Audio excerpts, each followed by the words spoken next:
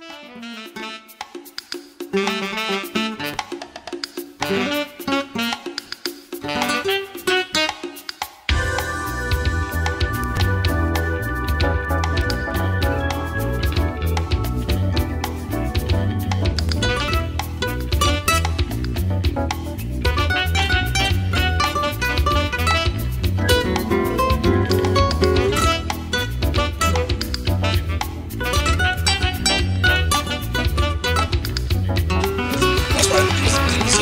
musicianship is not what it used to be because you don't have those, those workshops. That's true. That's what they were. They were workshops to, you know, for your craft. You know. And we worked every week. Every week, you know, we were someplace, Every, you know. every Friday night, I said, Um, I Did you, put yeah. did you ever play with Snake George? no. We No. were just talking about Snake George. But Oh, you know you Snake George. yeah, I played with him. I played Oh, with really? That's how I met Mick. Was it Fairbanks? Oh, really? Yeah, I played with. That's how I uh, met Mick. I played with He Fairbanks. was a funny. We were just talking about George, man. Oh I yeah. miss him sometimes. I think about him sometimes. Yeah. Oh gosh, man, I tell you, that was. Uh, Yeah, he was a character. he was yeah. definitely a character. I mean, I heard of people that did shows with snakes, Oh, really? but George was the first person that I ever knew that actually went out with a with a big boy. And we played up there. There was a place called the Cave, Yeah. downtown Philly. downtown. Yeah, That's a true story. I Yeah. played with George. I played with George before I met Mick, and we were playing at a college in Teaneck, New Jersey. I can't think of the name of the college in Teaneck, New Jersey. We were playing at a college, and we were running late, and George's snake was called Shazam, and he kept Shazam in a, in a styrofoam ice, whatever, tr- uh, whatever bucket or whatever. And because it's a boa constrictor, you have to stretch it out. I mean, let it relax.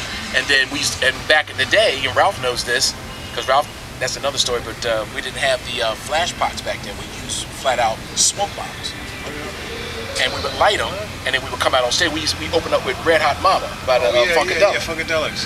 So we were rushing, and Shazam was all tied up in the thing. It's like, okay, somebody touch me. Okay, somebody touch me.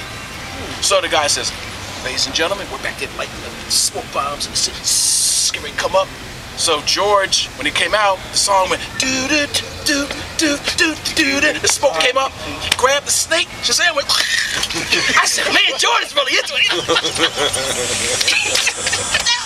I said. Did he get him off him?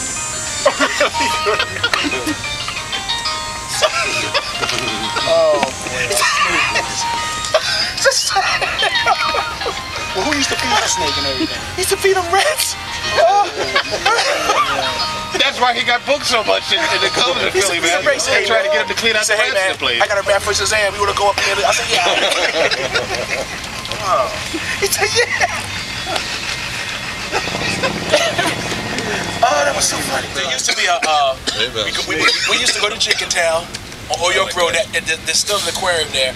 Buy a rat, buy a rat, a white rat What? for Shazam. Uh-huh. And we used to go up there at night and go, okay, here we go.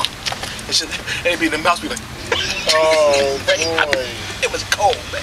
So Shazam would be like this, like this way, Yeah. and we would put the rat this way. We go, oh, it is gonna be on. And at first, you know, the snake was deep, man. You know, because they got that scent, because he can't really see. So the, the snake be.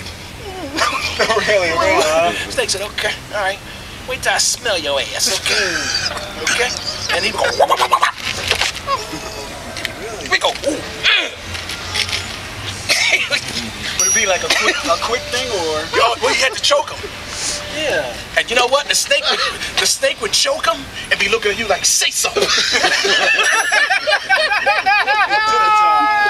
say something. He said, say something. I dare you. I wish you say something. He said, I wish you say something. He said, don't nobody move. oh, maybe, maybe. Yeah, man, that's deep. I've had it. Oh, George was something, man.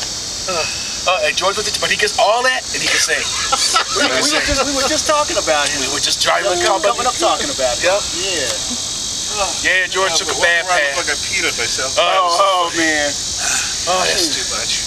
But that's how I met Mick. I met him through Oh, George, man. through I- George. Okay. that was the what do you call that? The Kevin Bacon 60 degree connection. He kills me. Yes, he. Oh man, George. So, what about guitar lessons, and are you learning anything? Well, you certainly learned something about snakes.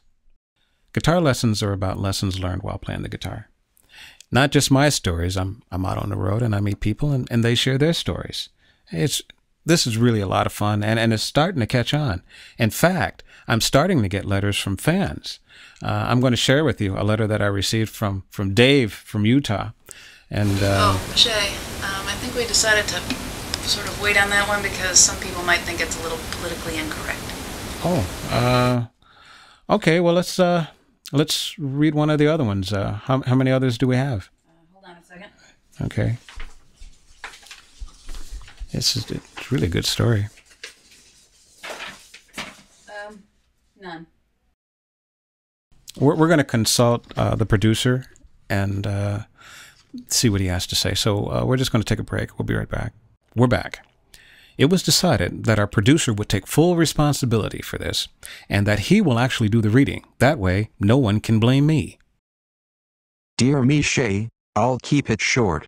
One night, I played a gig with my band at a place we played regularly, and always had a good crowd on the dance floor. As the night went on, the place filled with locals. About 10 p.m., a bus showed up out front.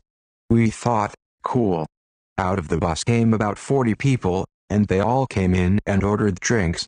We noticed that they were mentally disabled adults, and I believe the director was just trying to show them a good time, like regular folks have on a Saturday night.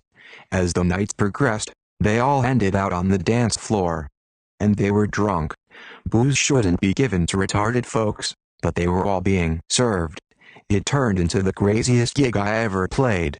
All the locals wouldn't go near the dance floor, as they were being knocked into by out of control flailing arms and legs from the handicapped folks.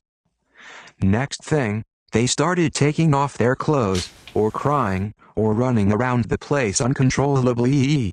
Two of them puked on a full table of patrons. It was really sad.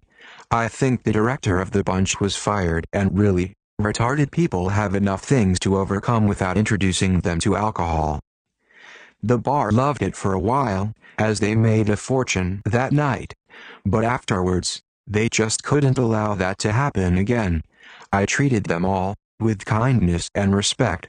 While all the girls wanted my phone number and all the guys wanted to play my guitar, it was a sad display. There are just some folks that shouldn't be drinking. The bar owner wanted to give us a bonus that night, but we just couldn't take extra for that. It was like dirty money. Can you imagine those poor hungover souls the next morning? It's a gig I never want to play again. Dave. That was Frank. Thank you, Dave from Utah. Keep those letters coming in, fans. You guys have any use for trolley buttons for Harbor Festival? Hey, I can take one. Oh. Can have them all. Thank you. Yeah, we're, we're all done for the day. I don't know. Wandering Samaritan. Good day. Hope you make some use of it. Thanks. Bye.